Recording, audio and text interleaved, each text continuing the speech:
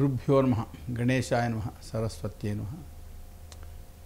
మనం ఏదైనా ధార్మిక కార్యం చేసేటప్పుడు సంకల్పం చెప్తుంటాం. ఆ సంకల్పంలో వైవస్వత మన్వంతరి అంటాం.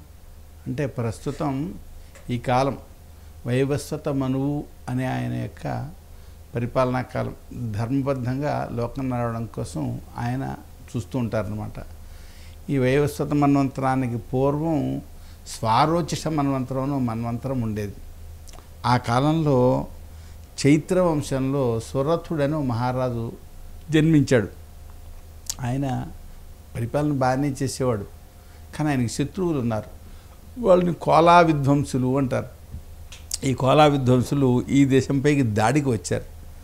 దాడికి వస్తే దైవవశం వలన అతను ఓడిపోయాడు. ఈ రాజు యొక్క మంత్రులు శత్రుపక్షంలో చేరారు. ఈయన ఓడిపోయిన తర్వాత మామూలుగా పట్టణానికి వచ్చాడు. వస్తే ఈ మంత్రులు శత్రుపక్షంలో చేరి తన ధనాగారాన్ని తన యొక్క ధనాన్ని అంతని వశం చేసుకున్నారు అని అర్థమైంది ఆయనకి. ఇంకా అక్కడ ఉన్నట్లయితే ముప్పు తప్పదని ఆయన అక్కడి నుంచి వేట అనే నెపంతో అడవికి పారిపోయాడు. ఈ అడవికి వచ్చాక పూర్వకాలంలో అడవుల్లో తపోవనాలు ఉండేవి. ఓ తపోవనం దగ్గర ఆయన నివాసం చేస్తున్నాడు. అక్కడికి ఒక వైశ్యుడు వచ్చాడు. ఆ వైశ్యుడికి సమస్య. వైశ్యుడు ఏంటి? ఆయన ఇంటి దగ్గర ఉండగా భార్యాపుత్రులు అతన్ని నెట్టేశారు ఇంట్లోంచి. ఆయన ఇక్కడికి వచ్చాడు. ఈ రాజుగారికి అడవిలో ఉన్నప్పుడు అయ్యో నా రాజ్యం ఏమైపోతుందో? నా మంత్రులు ఉద్యోగులను తిన్నగా చూస్తున్నారో లేదో? డబ్బంతా వ్యర్థంగా ఖర్చు చేస్తారేమో? నా సైన్యాన్ని కూడా వాళ్ళు స్వాధీనం చేసేసుకున్నారు అని చెప్పని ఆ- మా- తపోవనంలో చింతిస్తున్నాడు ఈయన. అక్కడికి వచ్చినటువంటి వయస్సుని చూసి అయ్యా మీరు ఎందుకు వచ్చారు ఇక్కడికి? ఎందుకు బాధపడుతున్నారు? అని అడిగాడు ఈయన. అడిగితే ఆయన చెప్పాడు నేను బాగా సంపన్నుండండి బాగా వ్యవస్థ బాగానే నడిచేది. కానీ నా భార్యాపుత్రు నన్ను ఇంట్లోంచి నెట్టివేశారు. మరి ఇక్కడికి వచ్చేసాను. ఇప్పుడు నా భార్య ఎలా ఉందో నా పుత్రులు ఎలా ఉన్నారో నా డబ్బు వ్యర్థంగా ఖర్చు చేస్తున్నారేమో అని చెప్పి నేను బాధపడుతున్నాను అన్నాడు ఆయన. అంటే ఇది విచిత్రంగా ఉంది. వాళ్ళ వాళ్ళు మంచిగా వాళ్ళు చెడుగా ఉన్నారా మంచిగా ఉన్నారా ఏం తెలియటం లేదే అని బాధపడు బాధపడుతున్నాడు. రాజు అడిగాడు ఏమయ్యా నిన్ను వాళ్ళ ఇంట్లోంచి నెట్టేశారు కదా వాళ్ళ క్షేమం గురించి నువ్వు ఆలోచిస్తావేమిటి? నీకు వాళ్ళ గురించి ఎందుకు బెంగ? అంటే ఏమోనండి మనస్సు చెప్పినట్టు వింటలేదు. వారి మీ ప్రేమ పోవడం లేదు అన్నాడు. వీళ్ళిద్దరూ కలిసి ఆ వనంలో ఉండే ఒక ఋషి దగ్గరికి వెళ్ళారు. వెళితే రాజు చెప్పాడు ఏమండి ఈయన సంపన్నుడు భార్యాపుత్రులు నెట్టేస్తారు నెట్టేస్తే వాళ్ళ గురించి బెంగపడుతున్నాడు. వాళ్ళు ఏమైపోతారు? ఎలా ఉంటారు? డబ్బు ఖర్చు చేస్తారేమో? చేస్తే రేపొద్దున వాళ్ళకి తిండి ఉండదేమో? ఇలా బెంగపడుతున్నాడు. నా పరిస్థితి ఎలాగా ఉంది. నన్ను రాజ్యం పోయింది. యుద్ధంలో శత్రువులు ఆక్రమించారు. మంత్రులు ద్రోహం చేశారు. వాళ్ళు నా కోశాగారాన్ని సైన్యాన్ని అంతరి వశం చేసుకున్నారు. నేను ఇక్కడికి వచ్చాను? నాకు రాజ్యం అయిపోతుందో ఈ మీ మంత్రులు వారు తిన్నగా పాలిస్తారో లేదో? ప్రజలు ఇబ్బంది పడతారేమో? ధనాగారం అంతా వ్యర్థంగా ఖర్చు పెట్టేస్తారేమో? ఇలా నేను బెంగపడుతున్నాను. ఏమిటిది? నాకు ఇది అర్థం కాని అంశంగా ఉన్నది. వాళ్ళు తన నెట్టేస్తే వాళ్ళ కోసం ఇతను బాధపడుతున్నాడు. ఈ రాజ్యం నా నుండి వాళ్ళు లాగేసుకుంటే వాళ్ళ గురించి రాజ్యం గురించి నే బెంగపడుతున్నాను. ఏంటి ఈ బెంగ కారణము? అని అడిగాడు. అంటే జరిగిన సన్నివేశంలో దోషాలు కనబడుతున్నా మమకారం మాత్రం తొలగటం లేదు మరి ఎందుకు వస్తుంది ఈ మూఢత్వం? జ్ఞానం ఉన్నప్పటికీ కూడా మూఢత్వం వస్తుంది విచిత్రం. ఇప్పుడు జరిగింది తెలిసింది. అక్కడ వాళ్ళు తన పట్ల ప్రేమభావం కలవాళ్ళు కాదు అనే జ్ఞానం కలిగింది. అయినా వాళ్ళ మీదే మమత పోవటం లేదు. ఎందుకు ఇలా ఉంటుంది? అంటే అప్పుడు ఆ ఋషి సమాధానం చెప్పాడు. అయినా జ్ఞానం ఉన్నప్పటికీ కూడా విషయాలు ప్రబలమైనవి. శబ్ద స్పర్శ రూప రస గంధాలు మనుషుల్ని ఆకట్టుకుంటాయి. వాటి ప్రభావం వలన వ్యక్తులపైన మరి రాజ్యాలపైన వస్తువులపైన మోహం కలుగుతుంటుంది. అంటే ప్రభావం అంటే ఏంటి? డబ్బు ఉంటేనేమో భోగాలు అనుభవించవచ్చు. డబ్బు లేకపోతే భోగాల్లో ఉండవు. కానీ డబ్బుపై మమత. అలాగే మంత్రులు సైన్యం ఇవన్నీ ఉంటే అధికారం చెలాయించవచ్చు. అవి లేకపోతే అయ్యో లేదే అని బెంగ. మరి వాళ్ళు వేరే పక్షంలో చేరారు కదా చేరినా సరే మనసు మాత్రం ఉండబట్టదలా పీడిస్తూనే ఉంటుంది. ఏ చిత్రం ఏంటంటే ఈ ప్రపంచంలో కొన్ని ప్రాణులకు పగలు కనబడదు. కొన్ని ప్రాణులకు రాత్రి కనపడదు గుడ్లగూబలు పగలు చూడలేవు అంటారు. మరి కొన్ని ప్రాణులకు రాత్రి కనపడదు మరి ఇక చూడండి ఈ రే చీకటి ఉన్నవాళ్ళు ఉంటారు. రే చీకటి ఉన్నవాళ్ళు రాత్రి అసలు చూడలేదు. మరి ఇక కొందరికి అన్నీ కనపడుతూనే ఉంటాయి కానీ రాత్రి పగలు గుడ్డివాళ్ళుగానే ఉంటారు. అవి అవివేకులు అనమాట విషయం తెలుస్తుంది. వాళ్ళన్నీ చూస్తుంటారు వింటుంటారు చదువుకుంటుంటారు ఇది ఇలాగా ఇది తప్పు ఇది తప్పు అని చెప్తారు. కానీ వ్యవహారం దగ్గర వచ్చాడు మళ్ళీ గుడ్డిగానే ప్రవర్తిస్తుంటారు. ఇదో రకమైన గుడ్డితనం. కనుక ఈ ప్రపంచం చాలా చిత్రం. ఒక వాస్తవం ఏంటంటే మన జ్ఞానం కలవాళ్ళం అనుకుంటాం. మన చుట్టుండే పశువులకు పక్షులు వాటికి కూడా కొంత జ్ఞానం ఉంది. పక్షులు బీదిలోకి పెడతాయి ఎక్కడెక్కడికో ఏవో గింజలు తెస్తాయి. తెచ్చి ఏం చేస్తాయి? ఆ పసిపిల్లలకు ఆకలి వేస్తుంటే వాటి నోట్లో అందిస్తాయి. అంటే వాటికి ఆకలి వేస్తుంది ఈ ఆకలి తీర్చాలి ఈ గింజలు పెడితే వాటికి ఆకలి తీరుతున్న జ్ఞానం వాటికి ఉంది. అంటే చుట్టూ అజ్ఞానంలో అనుకున్న వాటికి కూడా జ్ఞానం ఉంది. జ్ఞానంలో అనుకున్న మనకు కూడా అజ్ఞానం ఉంది. చాలా విచిత్రం. ఏమండి? వాటికి ఉండే కొన్ని శక్తులు మనకిలో అది విచిత్రం. పక్షి ఎగురుతుంది. మనకి ఎగరడం చేత కాదు. చూసారా కనుక మిగిలిన వాటికి ఉన్న శక్తులు కూడా కొన్ని మనకు లేవు. వాటికి ఉండే జ్ఞానం కొన్ని మనకు లేదు. ఇప్పుడు చూడండి పక్షి ఈ పిల్లలకు పక్షి పిల్లలకు ఆహారం పెడుతుంది. ఆహారం పెట్టాక ఆ వాటికి రెక్కలు వస్తే అవి ఎగిరి వెళ్ళిపోతాయి. మళ్ళీ అవి ఎక్కుంటాయో ఇవి ఎక్కుంటాయో మానవులు మాత్రం పిల్లల్ని పెంచారా? పెంచిన తర్వాత పెద్ద యాగి వీళ్ళు మన చూడాలి అని కోరుకుంటారు. వాళ్ళకేమో మా పిల్లల్ని చూసుకోవాలి మా కుటుంబం చూసుకోవాలని వాళ్ళకు ఉంటుంది. వీళ్ళకేమో నేను చిన్నప్పటి నుంచి పెంచి పెద్ద చేశాను వీళ్ళు నన్ను చూడద్దా అని వీళ్ళకుంటుంది ఏంటంటే చాలా విచిత్రం. దీన్ని మహామాయ అంటారు. మహామాయా ప్రభావం ఈ మాయా ప్రభావం వలన జనమంతా కూడా మమత అనే సుడిగుండంలో పడిపోతున్నారు. నాది నాది నాది ఎవరికి ఏది కాదు. అవసరం కొద్దీ వ్యక్తులు ఏర్పడుతుంటారు. ఒక చోట చిత్రంగా చెప్తారు. ఓ ప్రవాహం పెడుతుంటుంది ఆ ప్రవాహం లోపల ఆ ప్రవాహపు వేగానికి కెరటాలకు కట్టెలు రెండు కలుస్తాయి. కొంత దూరం ఆ రెండు కట్టెలు కలిసే పెడతాయి. ఇంకేదో కెరటం వస్తుంది. వచ్చేప్పుడు అవి రెండు విడిపోతాయి. మళ్ళీ దాని దారి దారి దీని దారి దీనిది ఇలాగా కర్మ బలం వలన ఈ మనుషులు పుట్టి జీవనం సాగిస్తుంటారు. కానీ మమత పొందుతుంటారు. ఈ మమత వలన సంసారం అనేటువంటి పెద్ద అంధకారంలో పడిపోతుంటారు. ఇదొక పెద్ద బంధం. మోహం అనేది ఒక గొయ్యి. ఆ మోహం అనేటువంటి గోతిలో పడిపోతుంటారు. దీనికి అంతకీ మహామాయ ప్రభావం కారణం. మహామాయ ప్రభావం మనపైనే కాదండి. మహామహాపురుషులపైన కూడా ఉంటుంది. అందుకోసం మహామాయను ఆరాధించాలి. ఆరాధిస్తే ఆ తల్లి అనుగ్రహం వలన ఇబ్బందులు తొలగుతాయి. మనం ప్రశాంతిగా జీవనం సాగించగలుగుతాం. నేను చిత్రమైన అంశం చెప్తాను. ఏంటంటే జగత్పతి అయినటువంటి హరి విష్ణువు యోగ నిద్రలో ఉన్నాడు. యోగ నిద్ర అంటే యోగమాయతో కూడినటువంటి నిద్రలో ఉన్నాడు. మన ఆయన దగ్గర ఉన్న మాయను యోగమాయ అని పిలుస్తారు. యోగ నిద్రలో ఉన్నాడు. ఆయన యొక్క నాభి నుండి ఒక ఆయనకు పద్మం బయలుదేరింది. ఆ పద్మం జగత్పద్మమే. ఆ పద్మం లోపల సృష్టికర్త బ్రహ్మదేవుడు ఉన్నాడు. ఇక్కడ గమ్మత్తు. విష్ణుమూర్తి యొక్క నాభి కమలా నుండి బ్రహ్మదేవుడు బయలుదేరితే విష్ణుమూర్తి చెవిలో ఉండే గులువు నుండి మధువు కైటభురువులు ఇద్దరు రాక్షసులు వచ్చారు.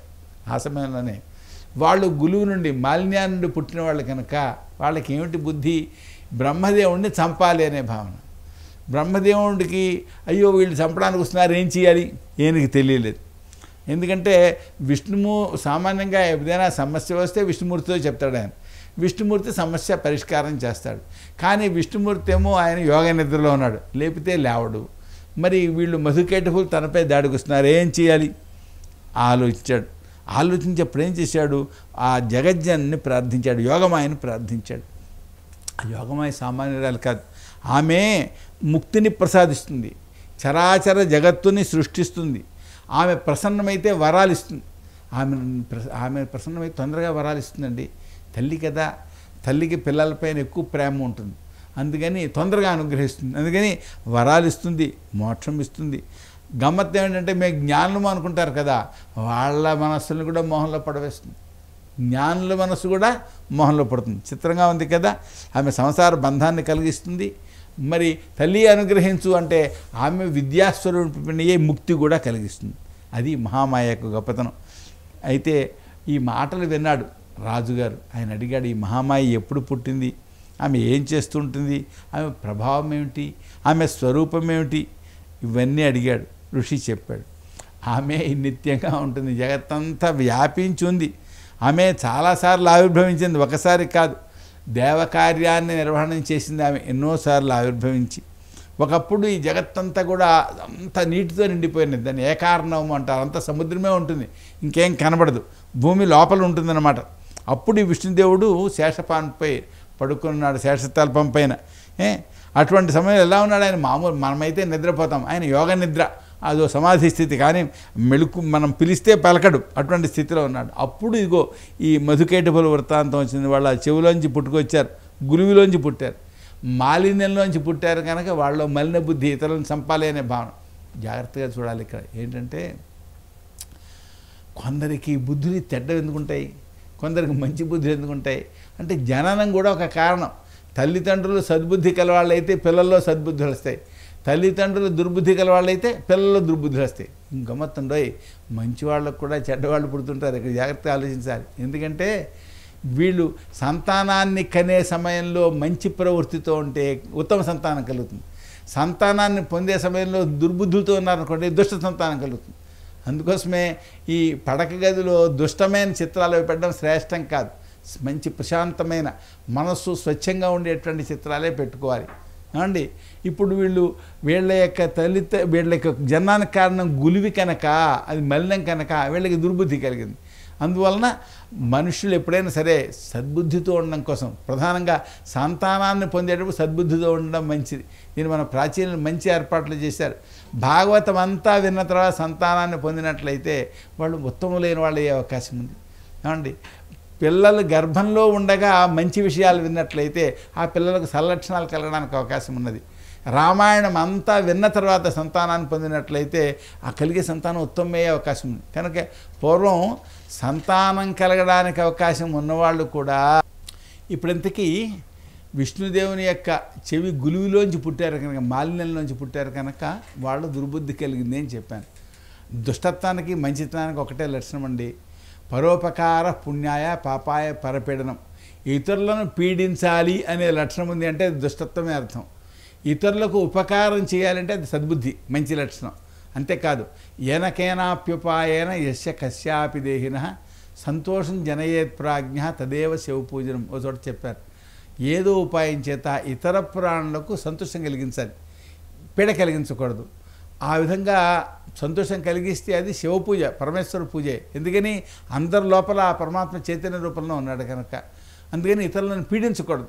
కానీ ఇతరులను పీడించాలి అని వాళ్ళ బుద్ధి ఉంది అంటే వాళ్ళు దుర్మార్గులే. వాళ్ళ వలన మొదట ఇతరులకు ఆ తర్వాత వాళ్ళకి హాని కలుగుతుంది. ఇతరులకు ఇప్పుడు హాని ఎందుకు కలుగుతుంది? వీళ్ళు వీళ్ళు హాని కలిగించడం వలన. తర్వాత వీళ్ళకి హాని ఎందుకు వస్తుంది? వీళ్ళకు వీళ్ళు ఇతరులకు హాని కలిగించారు కనుక ఆ హాని మరో వ్యక్తి రూపంలో వీళ్ళని పిడుస్తుంది. మొత్తానికి అంతా పెళ్ళలో మునిగిపోతారు. అందుకోసం ఉత్తమ సంతానం పొందాలి ఉత్తమ బుద్ధులతో ఉండాలి. ఉత్తమ బుద్ధులతో ఉన్నప్పుడు సంతానం పొందాలి. అది అటు ఉంచండి. ఈ విష్ణుమూర్తి గులువు నుంచి పుట్టినటువంటి మధుకైటపులు నారే వీళ్ళు బ్రహ్మని చంపడం కోసం వస్తున్నారు. ఈ బ్రహ్మకి యుద్ధం చేసే అలవాటు లేదు. అందుకోసం విష్ణుమూర్తితో చెప్పేవాడు. కానీ ఇప్పుడు విష్ణుమూర్తి యోగ సమాధిలో ఉన్నాడు. ఎలా? ఎవరితో చెప్తాడు? ఆలోచించాడు ఆయన. అప్పుడు ఆయన ఏం చేశాడు? జగజ్జనని స్థుతించాడు జగజ్జన్ ఎవరు? ఈ మహామాయ యోగమాయ యోగమాయను స్తోత్రం చేశాడు. ఈ యోగమాయ గొప్పతనం ఏంటంటే ఆమెను ప్రార్థించినట్టయితే అనుగ్రహిస్తుంది. ఆమె ఇప్పుడు హరి నేత్రాలయందుండి ఆయనకు మెళుకు రాకుండా సమాధిలో ఉండేలా చేసింది యోగంలో ఉండేలా చేసింది. ఆమె విశ్వేశ్వరి. జగత్తంతని శాసించగలిగిన మహాశక్తి ఆమె. జగద్ధాత్రి జగత్తును పోషించే శక్తి కలిగినది. ఆమెను విష్ణుమాయ అని కూడా అంటారు. ఈ జగత్తుకి సృష్టి కలుగుతుంది మొదట. జనం పుడతారు. కొంతకాలమైన సుఖంగా జీవిస్తారు. తర్వాత చివరి మరణిస్తారు. ఇలా మొత్తం సకల ప్రాణులకు ఈ జననం స్థితి మరణం తప్పదు. ఎవరి వలన కలుగుతుంది ఇది? ఈ యోగమాయ వలనే కలుగుతుంది. సకల వస్తువులు ఆమె యొక్క స్వరూపమే. త్రిమూర్తులు కూడా ఈ మాయ వలన శరీరాన్ని ధరించారు. అంతకుముందు శరీరాలు లేవు వాళ్ళకి. మాయ వలన శరీరాలు ధరించారంటే మాయామయమైన వాళ్ళ శరీరాలు కూడా. ఏమండి? అటువంటి ఆ జగత్తుని ఆ తల్లిని ఎవరు స్తుతించగలరు? ఇలా చెప్పి ఆయన అన్నాడు అమ్మా ఈ మధుకైటపల్లిని మోహంలో ముంచు. విష్ణుదేవుని మేలుకొల్పు అని ప్రార్థించాడు. మామూలుగా వరాలు మనం కోరుకుంటాం కదా దేవతల్ని ప్రార్థించి. బ్రహ్మ కూడా యోగమాయను ప్రార్థించి వరాలు కోరుకున్నాడు.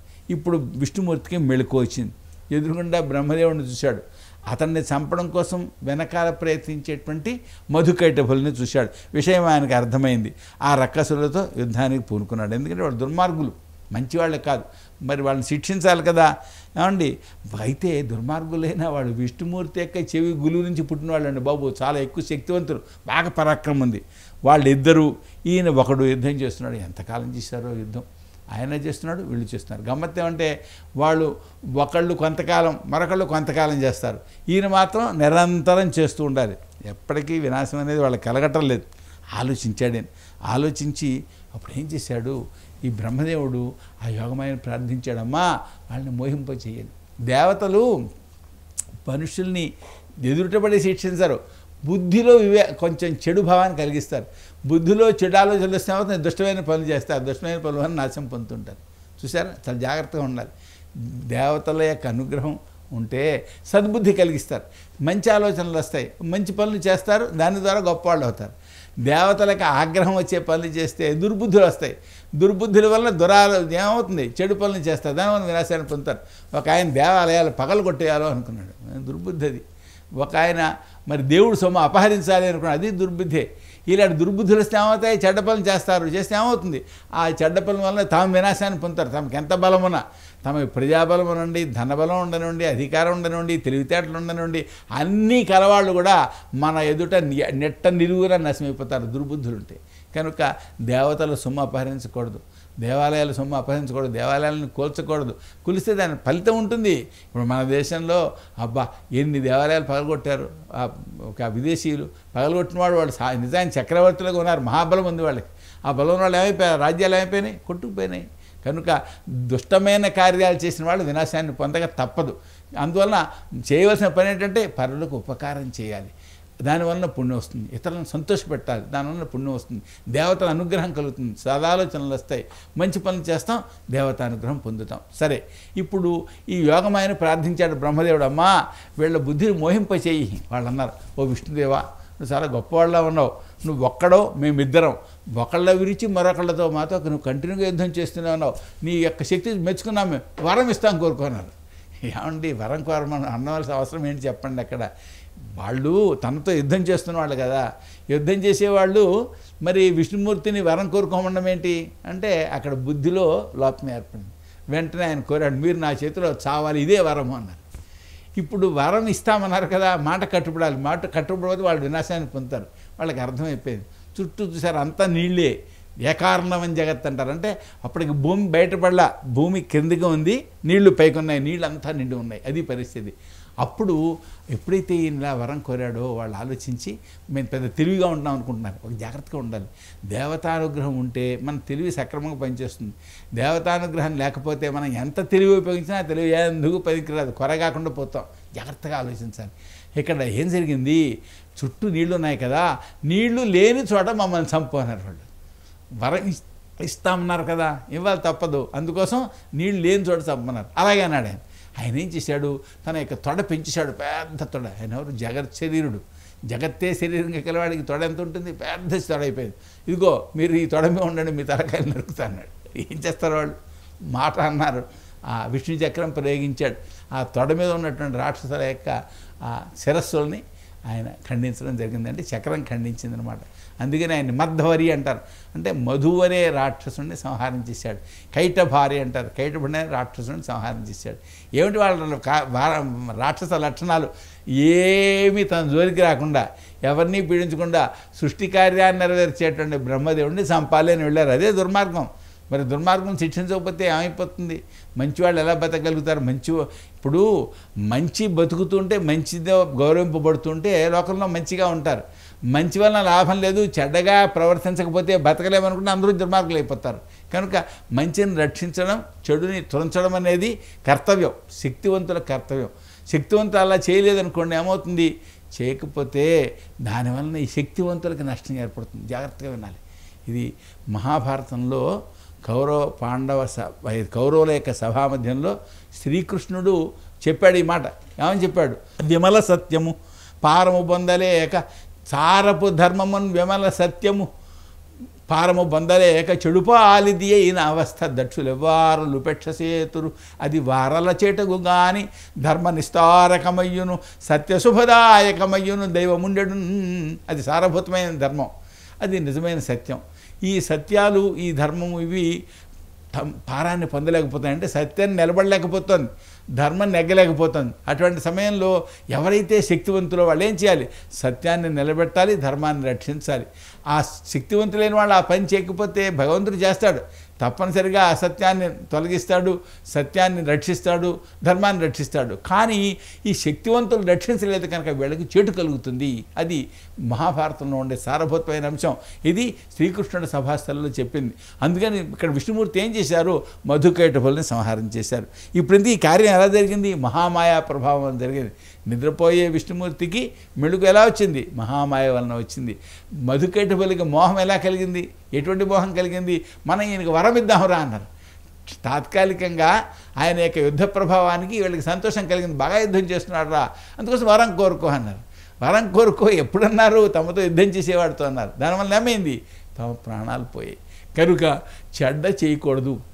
దేవతలకు ఆగ్రహం కలిగించకూడదు. ఆగ్రహం కలిగిస్తే మన బుద్ధే మనకు వ్యతిరేకమవుతుంది. మన ఆలోచనలు మనకు వ్యతిరేకమవుతాయి. మన పనులు మనకు వ్యతిరేకమవుతాయి. దాని ద్వారా మనం వినాశం పొందడానికి కారణమవుతుంటుంది. చూసారు? అంత చిత్రం అన్నది. ఇదంతా ఎవరి శక్తి? మహామాయా శక్తి. ఇదంతా చెప్పాడు. ఎవరు చెప్పారు? మా ఋషి ఆ రా ఆ రాజుకి ఆ వైశ్యుడికి చెప్పాడు. నాయనా మీకు ఇటువంటి పరిస్థితి కలిగింది అంటే మహామాయ యొక్క అనుగ్రహం తక్కువ ఉంది. మీరు మహామాయను ఆరాధించండి. ఆరాధిస్తే మీకు ఈ సమస్య తీరుతుంది అని చెప్పాడు. అది రాబోతోంది. వసంతకాలం అప్పటిగా భాద్రపద మాసం అనమాట వసంత ఇది శరత్కాలం రాబోతోంది. కనుక ఆశ్వేజ మాసంలో అమ్మవారిని ఆరాధిస్తే మంచిది. అందువల్ల మీరిద్దరూ వెళ్ళి ఆశ్వేజ మాసంలో పాడ్యం మొదలుకొని నవంబర్కు కూడా ఆ జగజ్ఞాన్ని ఆరాధించండి. దగ్గర ఒక క్షేత్రం ఉంది. ఆ క్షేత్రంలో నదీ తీరంలో అమ్మవారిని ఆరాధించండి అని చెప్పారు. వాళ్ళిద్దరూ ఆరాధించారు. రాజు ఆరాధించాడు ఆ వైశ్యుడు ఆరాధించాడు. ఆరాధిస్తే జగజ్జని వాళ్ళకి అనుగ్రహించింది. ఇది గొప్ప విషయం. ఇప్పుడు సాధన చేస్తాం. సాధన చేసినా కొంతకాలం చేసాక బద్ధకం వస్తుంది చేయబుద్ధి అవదు ఏదో సాధన చేసేవాడు మన భారతదేశం కర్మభూమి కనుక పైనుంచి సంప్రదాయం వలన వచ్చిందనో లేదా ఏదో కోరిక తీరడం కోసమనో అందరూ ఏదో కొంతమంది సాధన చేస్తారు. కొంతకాలం చేశాక ఆ పైన వదిలేస్తుంటారు. వదిలేయడం వల్ల ఏమవుతుంది? వాళ్ళకు దృఢత్వం ఉండదు సాక్షాత్కారం కలగదు. కానీ సిద్ధి కలిగేంత వరకు కూడా మానకుండా ఆరాధించాలి. అప్పుడు సిద్ధి కలుగుతుంది. వాళ్ళిద్దరికీ సిద్ధి కలిగింది దేవత అనుగ్రహించింది. ఆరాధిస్తే ఆ తల్లి ప్రత్యక్షం ఏం కావాలి కోరుకోండి అంది.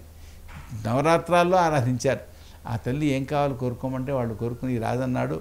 నాకు రాజ్యం కావాలని రాజ్యకాంక్ష పోలేదు. ఎందుకంటే కొంతకాలం రాజుగా ఉన్నాడు ఉండగా శత్రువులు వచ్చారు రాజ్యం లాగేశారు అడవుల పాలు అయిపోయాడు కనుక రాజ్యం కావాలి అన్నాడు.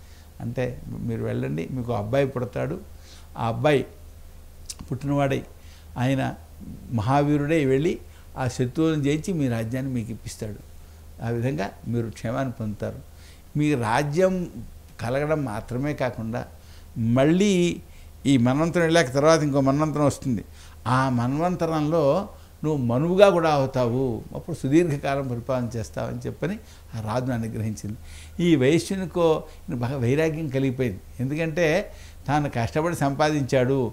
కొడుకుని పెంచాడు భార్యను పోషించాడు కావాల్సినవన్నీ ఇచ్చాడు. వాళ్ళిద్దరికి వాళ్ళిద్దరూ ఏకబోయి తన్నింటి ఇంటి నెట్టేశారు. ఈ ప్రపంచంలో ఉంటే ఇలాంటి సమస్యలే వస్తుంటాయి వీటికి ఇంకా పరిష్కారం అంటూ ఉండదు. వచ్చే నాకు ఈ ప్రపంచంపై వైరాగ్యం వచ్చింది. అమ్మా నాకు మోక్షం కావాలి తల్లి అన్నాడు. అంటే ఆ తల్లి తన జ్ఞానాన్ని ప్రసాదించింది. జ్ఞానం ద్వారా ఆయన మోక్షాన్ని పొందాడు. కనుక మనం రెండు రకాల భక్తులను చూసాం ఇద్దరు కూడా ఒక ఆయన భోగాలు అనుభవిస్తూ మధ్యలో భోగాలను కోల్పోయాడు. ఇంకొక ఆయన భోగాలు అనుభవిస్తూ ఉండగానే భార్య భార్య పితృ పుత్రుల చేత నెట్టబడ్డాడు. ఈయనకి వైరాగ్యం కలిగింది. అందువల్ల ఈయన జ్ఞానం కోరి మోక్షాన్ని పొందాడు. ఎవరి అనుగ్రహం? మహామాయ అనుగ్రహం వలన. అలాగే ఇంకో భక్తుడు ఈయన రాజ్యం అనుభవిస్తూ మధ్యలో భోగాలు పోవడం వల్ల ఇంకా భోగాలు కావాలనుకున్నాడు కనుక ఆయనకు మళ్ళీ రాజ్యం వచ్చింది. రాజ్యం రావడమే కాకుండా ఆ తర్వాత మళ్ళీ ఓ బాగా చిరకాలం చాలా కాలం మహారాజుగా ఉండేటువంటి ఒక గొప్ప యోగం కూడా ఏర్పడింది. అంతా ఎవరి వలన ఏర్పడింది? మహామాయ యొక్క అనుగ్రహం వలన ఏర్పడింది. కనుక మహామాయను ఆరాధించినట్లయితే ఆ తల్లి అనుగ్రహం వలన ఇహలోక సమస్యలు తీరుతాయి. మోక్షం కూడా వస్తుంది. సామాన్యంగా మోక్షం కావాలి అనుకున్న వాళ్ళకు భోగాల్లో భోగాలు కావాలి అనుకున్న వాళ్ళకి మోక్షం ఉండదు. ఎందుకంటే భోగాలు మోక్షాలు పరస్పర వైరుధ్యం. భోగాలు అనుభవించేటప్పుడు మోక్షం జాడ ఉండదు. మోక్షం కావాలని కూడా భోగాలన్నీ వదులుకోవాలి. సర్వసంగ పరిత్యాగం చేయాలి. కేవలం జ్ఞానం పొంది భగవంతుడినే ధ్యానం చేస్తూ దాని ద్వారా పరమేశ్వర అనుగ్రహం పొందాలి. కానీ ఈ జగజ్జన్ని ఆరాధించినట్లయితే ఏమవుతుంది? భోగాలు కలిగితే మోక్షము వస్తుంది. ఎందుకంటే భోగాలు అనుభవిస్తుంటేనే వాటిపైన వైరాగ్యభావం వస్తుంది. వైరాగ్యం వచ్చిన తర్వాత జ్ఞానం కలుగుతుంది. జ్ఞానం ద్వారా మోక్షం వస్తుంది. కనుక జగజ్జన్ని రెండింటినీ ప్రసాదిస్తుంది. కనుక ఆ తల్లి ఆరాధన చాలా శ్రేష్టం. ఈ శరత్కాలం ఒకటి మరి అటు వసంతకాలం ఒకటి వీటిల్లో సూక్ష్మ క్రిములు పెరిగి పీడ కలిగిస్తాయి అంటారు. కనుక ఆ పీడ కలగకుండా ఉండాలి అంటే జగజ్జన్ని అనుగ్రహం కావాలి. అందుకోసమని శరత్కాలంలో జగజ్జన్ని ఆరాధించాలి జగజ్జన్ని పూజించాలి జగజ్జన్ని స్తోత్రం చేయాలి ఆ మంత్ర జపాలు చేయాలి. ఇవన్నీ చేస్తుంటే ఆ తల్లి అనుగ్రహం ఉంటుంది. తొమ్మిది రోజులు కూడా పూర్వం మహారాజులు ఆ తల్లిని ఆరాధించేవారు. ఆరాధించి పదవ రోజు యుద్ధానికి బయలుదేరారు శత్రువులను జయించడం కోసమని ఈ తల్లి అనుగ్రహం విజయాన్ని పొందవచ్చు అని చెప్పని కనుక ఇప్పుడు అలాంటి యుద్ధాలు అవసరం లేదు. ఇది ప్రజాస్వామ్యం కదా. హాయిగా ఆ తల్లి అనుగ్రహం కోసం ప్రయత్నం చేయవచ్చు. ఒక్కళ్ళు చేయగలిగితే ఇంట్లో నవరాత్రాలు కూడా ఆ తల్లిని ఆరాధించవచ్చు.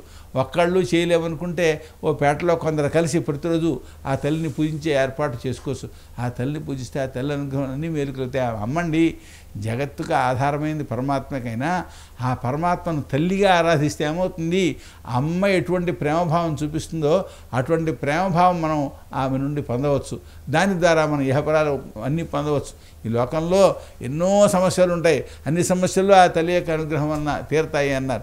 దుర్గే స్మృతాహరసి దుఃఖమశేష ఎంతో సకల ప్రాణులకు దుఃఖాన్ని తొలగి తొలగిస్తున్నాము అందుకనే దుర్గా అన్నారు దుర్గాసుడనే రాక్షసుడిని తొలగి సంహారం చేసింది ఆమె. అంత మాత్రమే కాదు దుఃఖాలని కూడా తొలగిస్తుంది. అందుకని దుర్గా అన్నారు. ఆమెను స్మరిస్తే చాలు ఆమెను పూజిస్తే చాలు ఆమె మంత్ర జపం చేస్తే చాలు ఆమెను ధ్యానం చేస్తే చాలు అన్ని శుభాలని కలిగిస్తుంది. అంతేకాదు కొందరు అంటారు ఏమండి మాకు దుఃఖాలు లేవండి సమస్యలు లేవు అన్న అన్నీ బాగున్నాయి మేము ఎందుకు ఆరాధించాలి అంటారు. వాడు కూడా ఆరాధించాలి. స్వస్థై స్మృత స్మృతి మతిమతీవ శుభాంతదాసి అన్నీ బాగున్న వాళ్ళే కనుక ఆ తల్లిని ధ్యానం చేస్తుంటే ఏమవుతుంది? వాళ్ళకి మంచి సుబుద్ధులు కలుగుతాయి.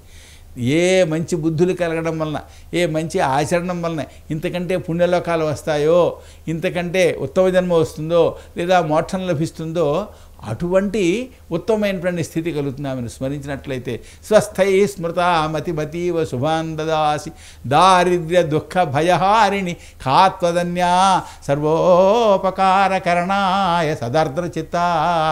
ఆమె ఆర్ద్ర చిత్త దైవాభావంతో ఉంటుంది ఆమె ఎల్లప్పుడూ దయాభావంతో ఉంటుంది. కనుక అమ్మ నాకు దారిద్ర్యం ఉంది తొలగిస్తుంది. అమ్మ దుఃఖాలు ఉన్నాయి తొలగిస్తుంది. అమ్మ అనారోగ్యం ఉంది తొలగిస్తుంది. అలాగా ఆమె ఆర్ద్రచిత్తంతో ఉంది కనుక దయతో ఉంటుంది కనుక ఎవరేం కోరితే ఆమె అది అంత దయాభావంతో అంత అనుగ్రహించేవాడు మరి ఎవరున్నారు కనుక? ఆ జగదంబను రెండు చేతులు జోడించి అమ్మా అనుగ్రహించు మమ్మల్ని రక్షించు తల్లి అని చెప్పని ప్రార్థన చేద్దాం. అది చేసేటువంటి పవిత్ర కాలమే ఈ దసరా కాలం. ఈ దసరాలో తొమ్మిది రాత్రులు నవరాత్రులు కూడా ఆ తల్లిని పూజించి ఆ తల్లిని అనుగ్రహాన్ని మనం సంపాదిద్దాం. స్వస్తి ప్రజాభ్య పరిపాలయంతాం. న్యాయేన మార్గేణ మహిం మహిష. ప్రజలందరికీ కూడా క్షేమం కలగాలి వినాశం కలగకూడదు. అంతేకాదు ఈ దేశాన్ని పరిపాలించే పరిపాలకులు న్యాయ మార్గంతో జనాన్నందరినీ కూడా పరిపాలించుదురు గాక. శుభం. ఈ వీడియో మీకు నచ్చితే లైక్ చేయండి షేర్ చేయండి సబ్స్క్రైబ్ చేసి బెల్ బటన్ నొక్కండి.